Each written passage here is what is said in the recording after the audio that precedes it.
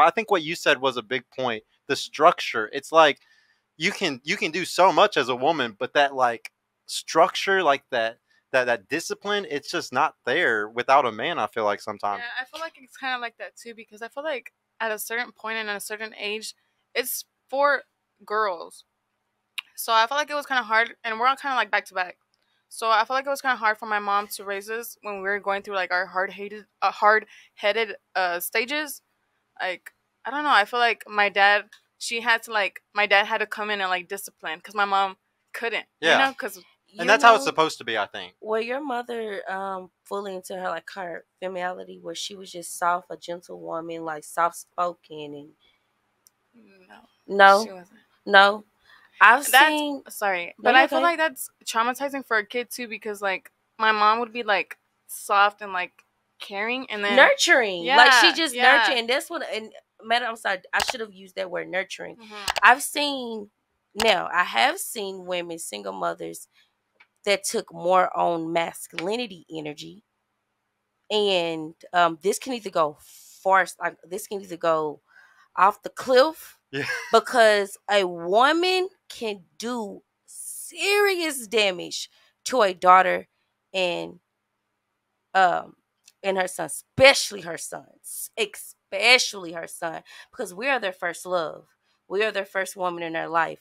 But I've seen masculinity women that did carry that and they install discipline, but their kids miss the nurturing side. Yeah. So yeah, it's like too much one direction. yeah, Yeah, so it's either I have to be completely on this side or I'm gonna have to be completely on You this have to have balance, and the balance comes from the two parent household. So Mhm. I mean, it, eventually the single mom wants to get married again and, you know, have a kid, or if it's out of wedlock, you know, actually find like the perfect husband.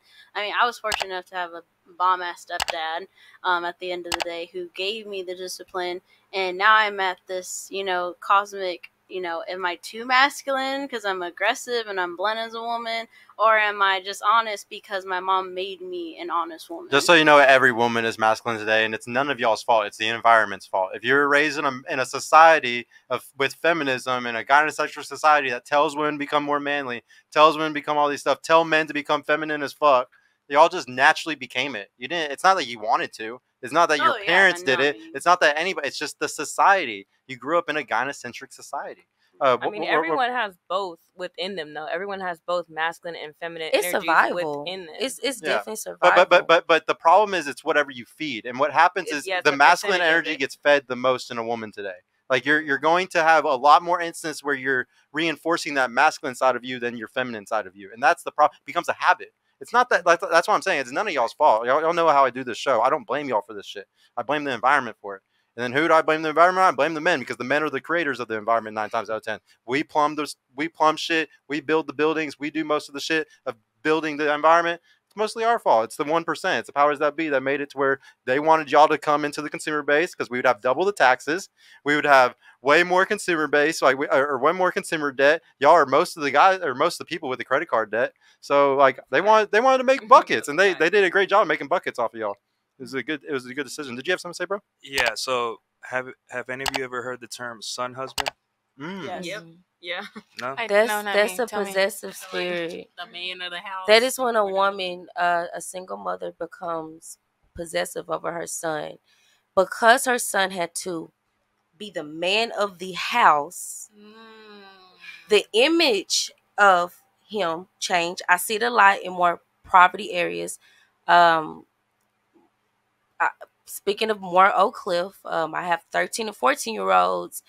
Um, they would sit there and tell me like they when they leave, they go they don't have time for football practice. They gotta go make some shake for the family. I my mama lights finna get turned off. Like they can't be kids. Mhm. And they at war with each other outside. And they got eight hours of school time where they're somewhat at peace, but they're thinking about what can like I gotta I gotta come up with some money. And so now they're just doing these things behind that. But I definitely feel that a woman becomes possessive and a son takes on that responsibility. And it's a mutual. It's not just a um a woman uh what I'm sorry, what phrase did you use? A son husband. Son a, husband. a son husband. It's such thing as a a a son, mom, wife, or whatever, because Yeah. he's possessive of her. He's keep like Yeah, he- you get what he I'm treats his mom like a he wife. treat like his mom becomes before his wife, and he can't even differentiate it. Yeah, and that and that's Mama's something that does happen a lot. There's a lot of yeah, there's a lot like, of guys that take their mom more each serious than their girlfriend. Well, Yeah. Well, what do you think about that, bro? so actually? so son that's that's part of it but son husband is basically a woman gets with a man the man's you know maybe a rough around the edges he's you know kind of like hyper alpha maybe he hits her abuses her or he's just a guy that's hard to control cheats on her whatever right so the the boy is born and the mom looks at the boy as a reincarnation of the of the her husband baby daddy whatever the father, yeah. so she does everything as throughout the boy's childhood and growing up to turn that boy into a good little boy that always listens and always says yes, mommy, and you know Nothing becomes, like the father. beco- eh, exactly Nothing nothing, like like, the father. And this is something psychological that women do, um, and even married women, because you know the father may be like not you know like not a very sweet and caring man. He may be just like uh, whatever you know. Um, so what happens is that boy grows up and he's like this nice submissive little boy, and then he meets women. He grows up, he meets women, and then the women, you know, are gonna treat him.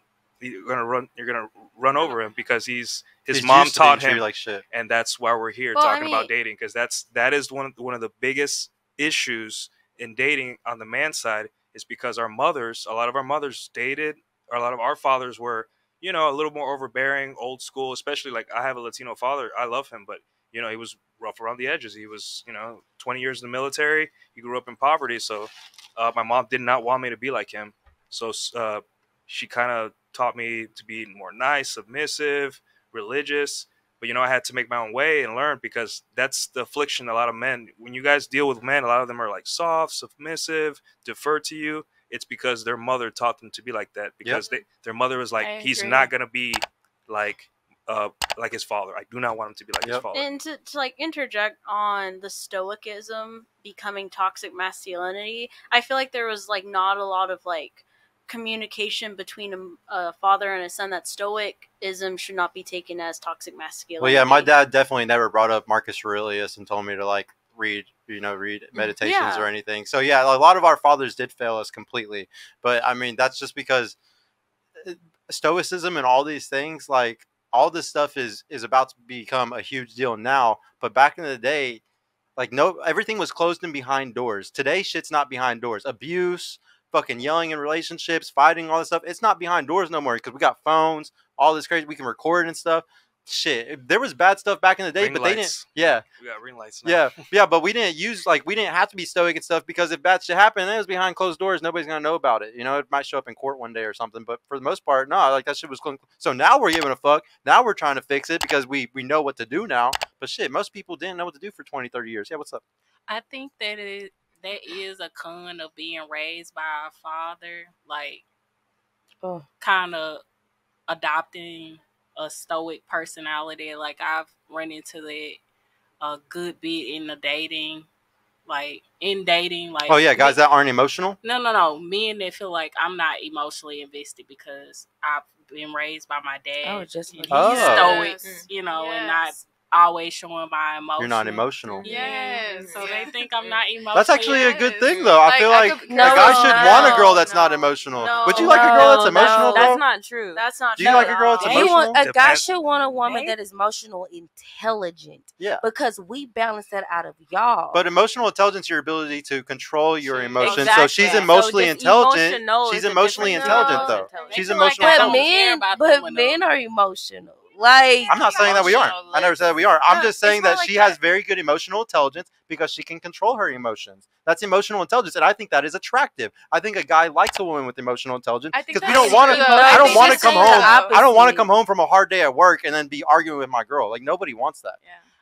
It hasn't always been this good, but You're like I'm. as, Ju- I, I'm now as I'm I've good. gotten better, it's gotten worse. So like guys really think I don't care about them because I'm not emotionally invested. You or don't wear your my emotion on emotion. your Emotional intelligence sleeves. is also knowing how to express your Yes. feelings of caring as well. I, well, I, I also, you know, I don't know anything about you, but you could also be have none of those emotions because of bad trauma or like going through bad relationships or just multiple relationships. I mean, if we look at the studies for for, for uh, happiness in marriage, it's thirteen percent for women after twenty bodies. your your percentage chance of being happy in your marriage, thirteen percent. So like, I'm not saying that you have over 20 bodies or anything like that, but but I but I probably wouldn't have a lot of emotions either if I was a woman and I had over 20 bodies because that's just we like we can see that with studies that women don't care as much. I'm gonna after so say much. this: you do show emotions. You you show it. It's on your face. they They just don't pay attention to you. A If guy not- that comes If you're along, not crying and like kicking in that door because they messing with other No, that's girls, they be crazy. mad.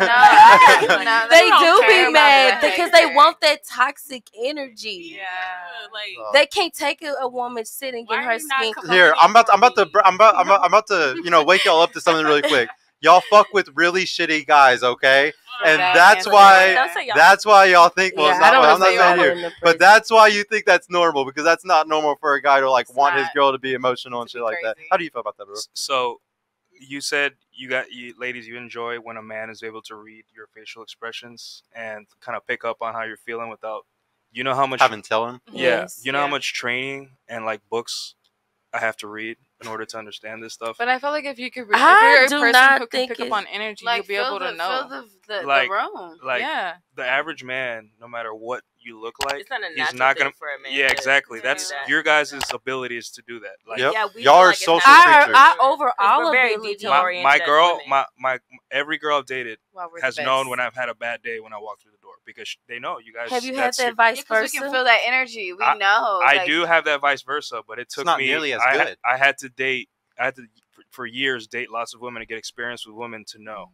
You, You- know, and you that gotta- takes a that- yeah. lot of experience You for gotta- a man. You got to understand from an age of a girl that's 15 years old to 20. Think about how many guys approach you. Think about how many social interactions you have and you're already wired to be more social than us. You're already hardwired to be better at social situations okay? So not only are you more hardwired to be good at those communal things but you're also having way more opportunity to practice that muscle to practice that and becoming very good at a social being. Men don't get especially men today that are playing video games or living at their mom's house for too many years shit like that they ain't getting near they're not approaching women enough they're not getting near the social experience that the women have. The 18 year old girl literally can run laps on most 30 year olds today. Most 30 year olds today can easily get finessed by an 18 year old girl if she's had enough social experience. Yeah. and he would and he would and he would sit there and believe everything she says and go for all of it because he doesn't he just hasn't had enough uh, uh, he's maybe only had two relationships or three relationships or fuck 10 girls or something like that. He hasn't practiced enough to even know if that girl is like that or not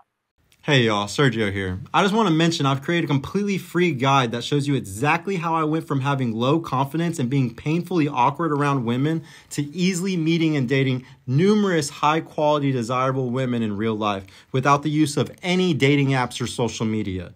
So if you're struggling to get out there, if you have approach anxiety or don't know what to say or how to interact with women to make them want you and are sick of using dating apps with low value girls that hundreds of other guys have been chatting with, click the link in the description below to grab your free guide right now. And if you want private mentorship with me personally to help guide you every step of the way in this process, check out my mentorship program in the description too.